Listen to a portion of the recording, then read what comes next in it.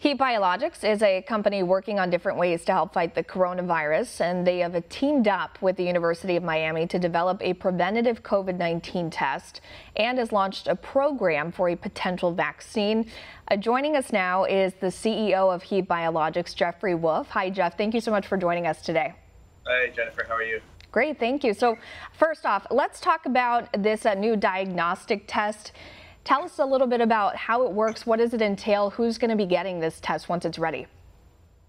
Great. This is a 30 minute test that is able to quickly assess uh, whether a patient has the actual virus associated with COVID 19.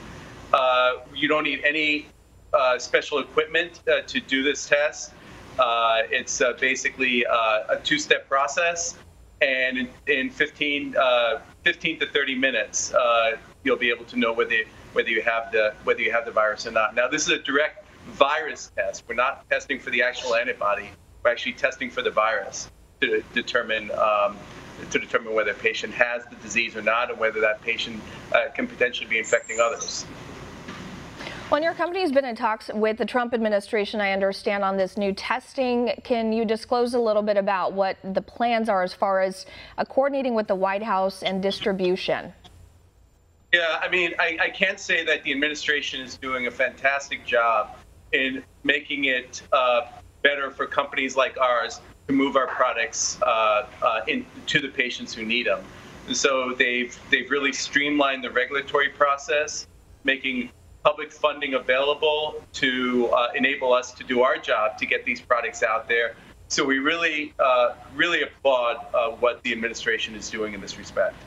And what sort of timeline, if you could put a date on that or any sort of projection, what sort of timeline are you looking at as far as getting your test out there? We're, we're looking to move the test out there as quickly as we possibly can. So we're working as aggressively as we, we can. Uh, administration has made it uh, very uh, that been, has been very accommodating uh, to us to do this.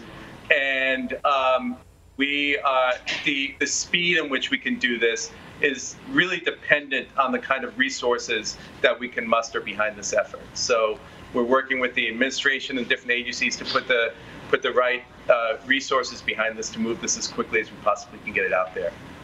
And, and, I understand you're not just working on a test, you're also working on a vaccine program. You started on that. What are some of the details surrounding those efforts?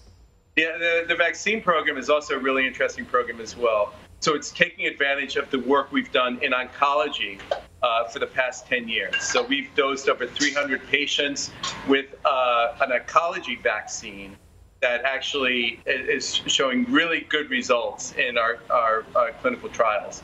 We're applying those same tools to other viruses as well. So we've worked with uh, with uh, the Zika virus. We've worked with our collaborators with uh, malaria. We've worked with uh, SIV, HIV, and most of this with government funding, with DoD money and with NIH uh, funded money. And uh, we've seen great results there as well. So now we're taking these same tools that we've been working with in the vaccine space to develop a vaccine against uh, against uh, COVID-19. And is there any sort of timeline as to when you might start clinical trials on this vaccine? You know, we're working as aggressively as we possibly can. So uh, you know, I don't think anyone is going to have a vaccine in the next nine to 12 months, uh, but we're looking to, we have our researchers working on it. Uh, we're working in collaboration with University of Miami, and the goal is to get this to the patients who need it as quickly as we, uh, as we possibly can. All right, so Jeffrey Wolf, CEO of Heat Biologics, speaking to us about his company's work on the front lines of COVID-19. Thank you so much for speaking with us today. We do appreciate your time and stay safe. Want to see more videos like this?